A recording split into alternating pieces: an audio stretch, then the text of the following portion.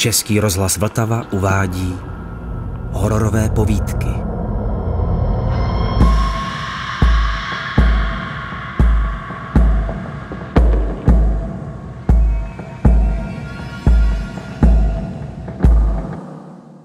Hřbitov ho neděsil. Dokonce se dá říct, že ho měl rád. Hřbitovy jsou útočištěm pro ty, co už mají dost lidského hemžení a vyhledávají klid a samotu. Prvních 30-40 let života je možná docela zábavné a občas i inspirující sledovat povládský primitivismus přemýšlení, pokud se o přemýšlení vůbec dá hovořit. Neopodstatněnou brutální suverenitu, bezohlednost, sebestřednost, nevzdělanost, bezduchost, hloupost, nevychovanost, hulváctví, ignoranci, sobectví – Zkrátka a dobře to odporné všeobklopující hňubství v jeho neuvěřitelně měnlivých a přeskupujících se podobách, ale po padesátce už stačilo. Ne, že by se s padesátkou dostavila nějaká moudrost. Po padesátce prostě člověk zjistí, že je to v principu neustále to samé. Svrap a neštovice. Chamrať. Svoloč. Proč si to nepřiznat? V hloubi duše začal lidmi opovrhovat. Na hřbitově se cítil v bezpečí. Nebezpeční jsou lidé živí, ne ti tam dole prdící do hlíny, které konečně boží mlíny semleli na prach. Protože prach si a v prach se obrátíš. Amen.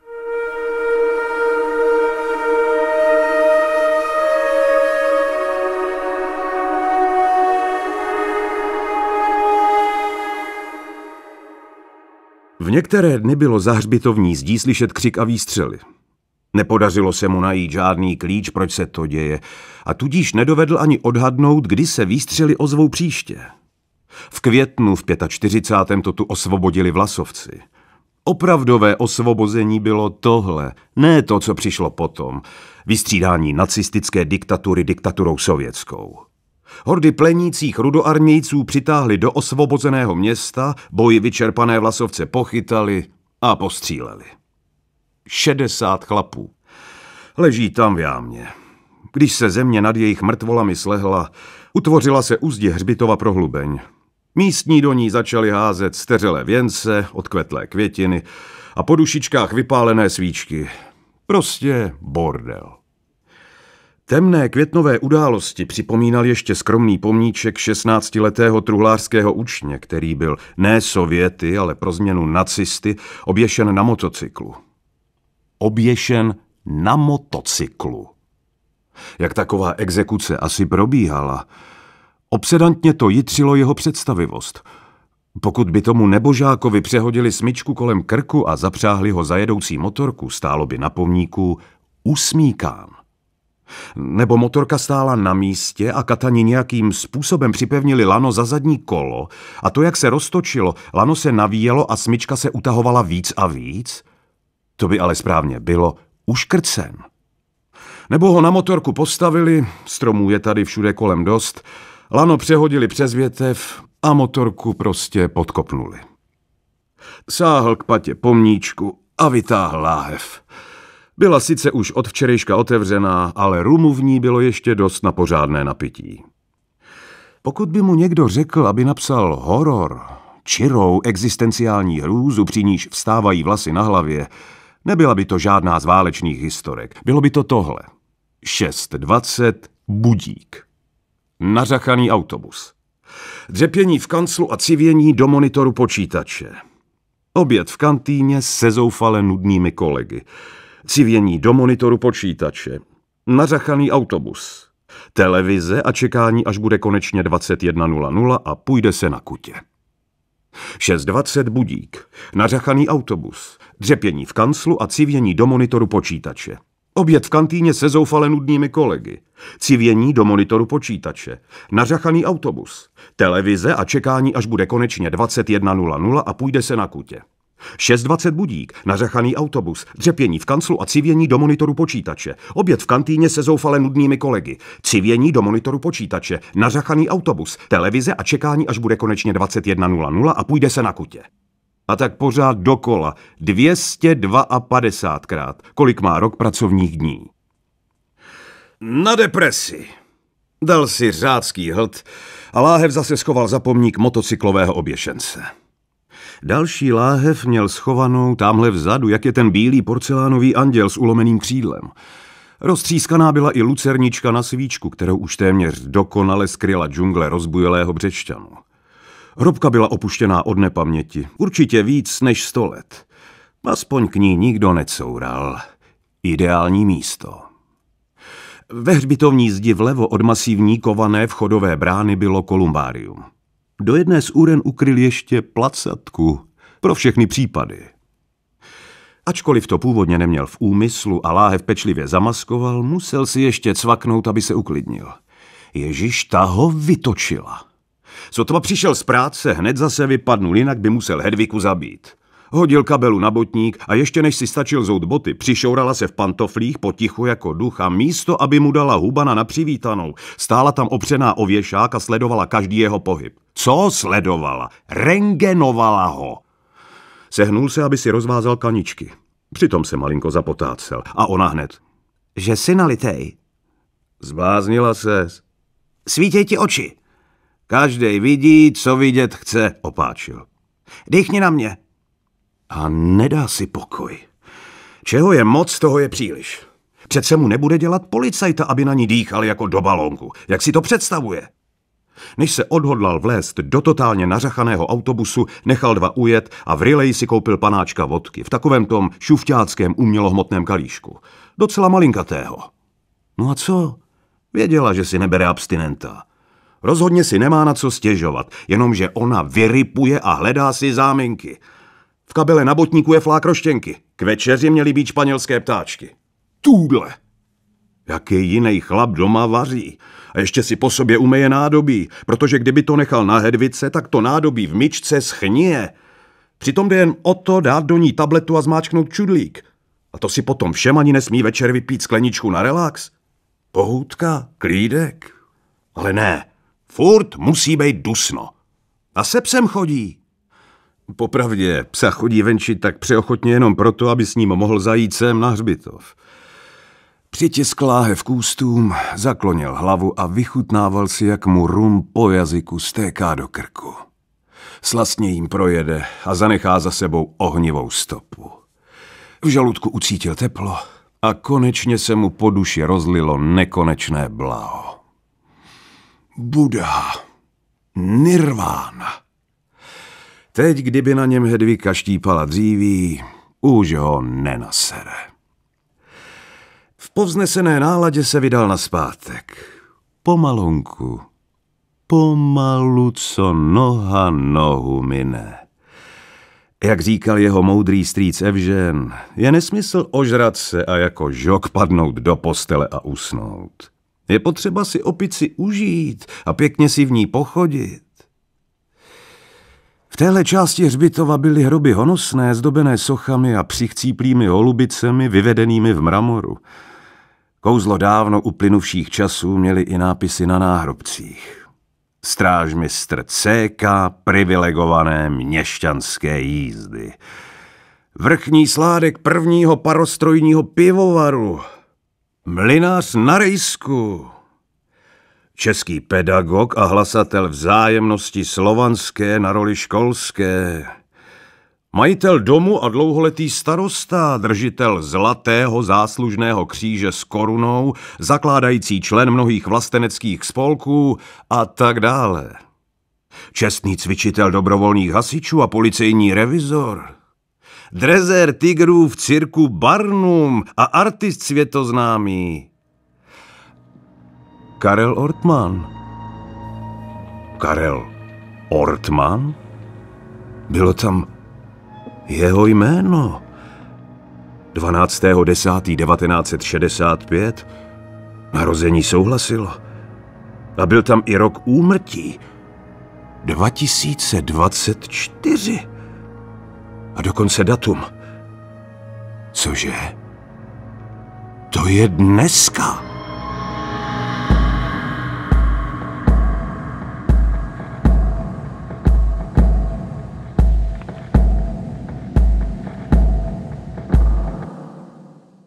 Hrobník bydlel v malém přízemním domku přímo na hřbitově. Dostal rozehrává, určitě bude hledat hlavičkáře Kestla nebo Prekopa a povedlo se to šance! Rozhodčí ale už předtím, než dopravil křapka míč do sítě, hru přerušil. V té vřavě píšťalka není ani pořádně slyšet. Gól neplatí a kolář nakopává dopředu na šrance. Za Fejris! A to vypadá na žlutou kartu pro Martina Hálu. Myslím, že je to i z preventivních důvodů, protože teď tam bylo pár situací, kdy emoce šly nahoru. Bylo vidět, že Hála si je vědom, že nemůže mít balon a že jenom tělem chce dohrát za Fejrise a dát mu pocítit, že tady to bude bolet. Ševčík rozehrál na masopustá, Jurásek, masopust, tak na koho vyjde centr? Ševčík ale už se ke střele nedostal a znovu to byl Jánoš, který křižuje všechny tyhle prostrkávačky. Ono to vypadá, že je to skažená standardka, ale takhle to přece slávisté chtějí. Rozehrát to na straně, kde je málo hráčů a tři na dva přesilová situace, kde by se to teoreticky mělo vykombinovat, což by se asi stalo, kdyby Jánoš včas nezareagoval a neodkopl míč do zámezí. Vhazuje Lukáš Provod, nepřesně na Fan Birena, Kestl, Beran Jánoš, Jindříšek, Tomáš Necit zastavený Bořilem. Jurásek, Ševčík přenáší hru na druhou stranu, ale pro Šrance byla ta přihrávka příliš dlouhá. Na co koukáš? Na fotbal, řekl hrobník a nevěřícně zakroutil hlavou, jak se někdo může takhle pitomně zeptat. A kdo hraje? Kdo asi hraje v sešívaných drezech? Slávě. Jejich zelenobíle pruhovaní protihráči zase mají na prsou klokana. S Bohemkou? Bingo! Když Hrobníkovi vylíčil, co se stalo, Hrobník ani nečekal na konec utkání. Vypnul televizi a šli do Márnice pro Vercajk. Musel jít s ním, sám by ho Hrobník nepobral. Naposledy byl v Márnici před 40 lety, do detailu si ale vybavoval veškeré podrobnosti. Na Márách byla vystavená rakev. Otec ho donutil se nad ní sklonit a políbit synalou matku na stuhlá studená ústa. Tenhle pohled mu ovšem z paměti vymazal matku, když byla ještě živá.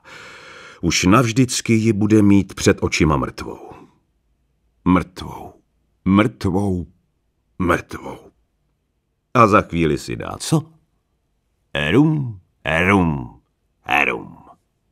Přece nebudou s hrobníkem kopat na sucho. Flanděra střežená andělem s ulomeným křídlem by měla být nenačatá. Dávali tam předevčírem. Moc pěkný. Máš i fotku? Jako živej. Zasmál se hrobník.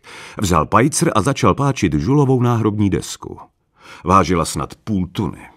Pokrok na hřbitovi nepokročil, přitom by taková deska šla mnohem s nás udělat třeba z laminátu a vážila by desetinu. K obrubě hrobu by se přilepila a splnila by svoji funkci stejně dobře. Sochy už se takhle dělají běžně. Při poklepání ale nezvoní. Dutě duní. Houbhle z bronz. Umělá hmota. Sochaři už se ani nenamáhají dělat sádrové modely. Rovnou z počítače se socha vytiskne na 3D tiskárně a nastříká patinou. Jdeme na tři. Přizvedni mi to tady dole, řekl hrobník. Raz, dva, kde jsi? Nechlastej furt. Tři.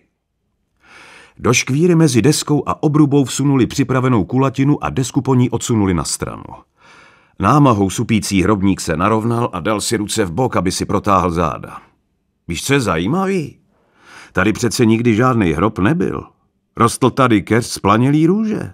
Ženský chodili oždibovat do váziček. Moc pěkný květy měla. Podle zákona o pohřebnictví musí být rakev uložena nejméně 1,5 metru hluboko, takže měli co dělat. Hrobník přestal planě filozofovat, plivnul si do dlaní a popadl krumpáč. On nakopanou hlínu vyhazoval lopatou ven z hrobu. Šichta jako hrom.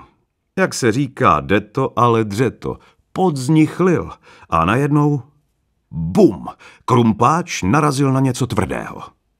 Obrátil do sebe zbytek rumu a prázdnou láhev hodil mezi sousední hroby. Rakev. Odklopili víko. Srdce se mu rozbušilo, div, že se mu hrudník nerozkočil.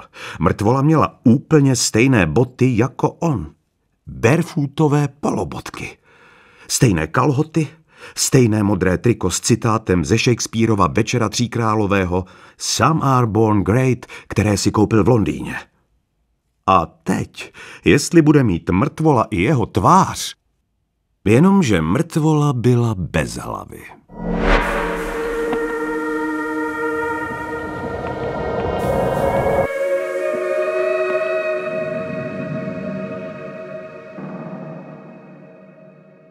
Když se vrátil domů, pes, co ho pokaždé radostně vítal u dveří, vrtěl ocasem, skákal na něj a olizoval mu ruce, ustrašeně s kňučením zalezl pod botník. Na kuchyňské lince ležel ve vsteku zmačkaný útržek reklamního letáku a na něm bylo nadrásané Šla jsem k Ireně na kanastu, dojdi králíkům pro trávu. Jako by to nevěděl sám. Jako by králíkům nedával každý den trávu a mrkev a občas na přilepšenou trochu šrotu on – Prostě semetrika, co na to říct víc? V kotci, který obýval nepřátelsky vyhlížející ramlík s převislýma ušima, byla pod senem schovaná další láhev. Hedvika se ušáka bála, takže tahle schovávačka byla naprosto sichrová. Odstrčil králíka a mocným hltem si svlažil hrdelko. Teprve potom sněl z hřebíku zatlučeného do boku králíkárny kosu a vyrazil. Nejlepší tráva rostla za hřbitovní zdí, tam, co sténají postřílení hrdinové ruské osvobozenecké armády. Šťavnatá travička se spoustou pampelišek. Mňam. Přesně takovou králíci nejraději. Nasrpal by ji. Jak rád by ji nasrpal a dopřál svým chundelatým kamarádům jejich laskominu. Jenomže co pak za to může, že ho nohy ze zvyku donesly do hospody. Sestava skalních štamgastů byla v plném počtu. V životě jsem za Komanču na nic frontu nestál, holedbal se Hadrava. Masa bylo všude dost. Jo, zapochyboval krosnář. To si piš. Mojeho rudlu znáš, tak mu řekni, ať ti řekne, na čem vyrost. Povídám, parchanti, jestli chcete v neděli vepřoknedlo zelo, koukejte něco splašit. Ale ne žádnýho ratlíka, to jsou jenom chlupy a kosti. Pořádního čokla, aspoň buldoka. Houpat nás můžeš, ale ne takhle, řekl Burda a naznačil ukazovákem obrácené písmeno U. Kde jsi střílel, ve sklepě? Co blázníš, kde bych vzal za komanču pistoli? Okamžitě by mě někdo z vás dobráčku udál. Normálně jsem ho podříznul. Děti přivedli čokla domů, vzal jsem ho do koupel, nějaký pak štráchy. Sundal jsem mu obojek a podrbal ho za ušima. Ty zo předtím hladil? Vyhrkl nevěřícně krosnář. Víte to lidský. Uh, otřásl se Burda při té představě. Pohladíš ho a než se zpamatuje, vezmeš ho kudlou pod krkem. To je milosrdná smrt. Dcera míchala v hrnci krev, aby se nesrazila. U dveří zazvoní Maruna se šusama. Otevřu a ona. Nesu vám oběd! Pak se zarazila a kouká. Myslela, že je to rejská omáčka, že prej se příště musíme s jídlem líp domluvit.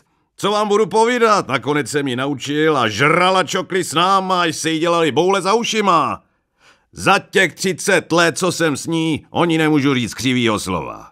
Fakt to byla náramná ženská do nepohody. Doktoři dávají pár týdnů a šluz.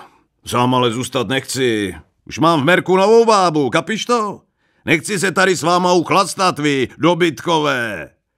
Lejte mi kořalu, lejte mi na hlavu. Zanotoval, nebo spíš zařičel Hadrava a objednal rundu fernetů. Já jsem zase pro Kubánce chytal krkavce, nadhodil nové téma Starhon. Kubánci tehdy válčili v Angole proti unitě a nejzasloužilejší hrdlořezové šli za odměnu k nám na práci, aby si vydělali prachy. To jsem ještě bydlel v Dobrovici. Byl jich plný cukrovar, než se na ubytovně posekali mačetama a s internacionální výpomocí byl konec. Škoda, dávali mi tehdy za každýho krkavce bůra. Víte, jak se chytaj? Že si krkneš, řekl Hadrava a smíchy se začal plácat do kolen.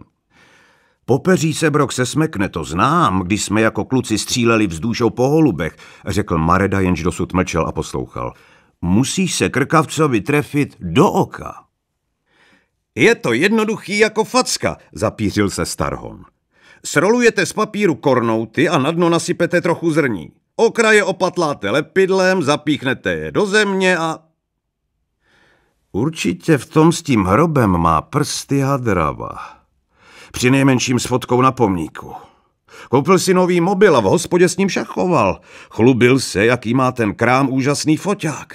Každého si vyblejsknul a že to prý vymaže. Nic nesmazal. Bůh ví, komu ještě ten chvástavej náfuka s těma fotkama v budoucnu zavaří. Neměl Hadravu rád. To, jak se rozkřikuje. A za každou cenu se snaží upoutat na sebe pozornost. Přitom to je prach obyčejné křupanské hovado. Debil. Blbec. Pitomec. Tupec. Hňupec. Vypláznul na něj jazyk. Bé.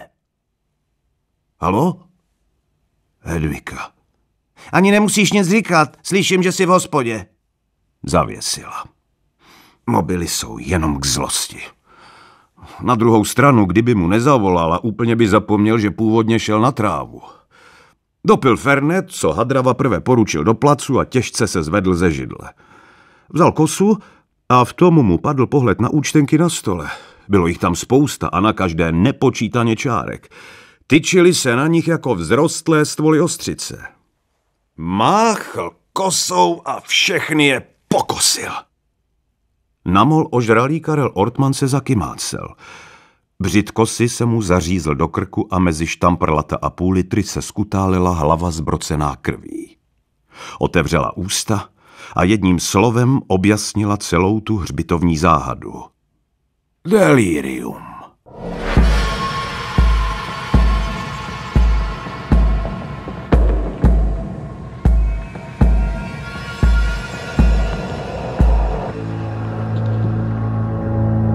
Hororové povídky. Další díly poslouchejte ve vysílání a na webu Vltavy, v aplikaci Můj rozhlas a na dalších podcastových platformách.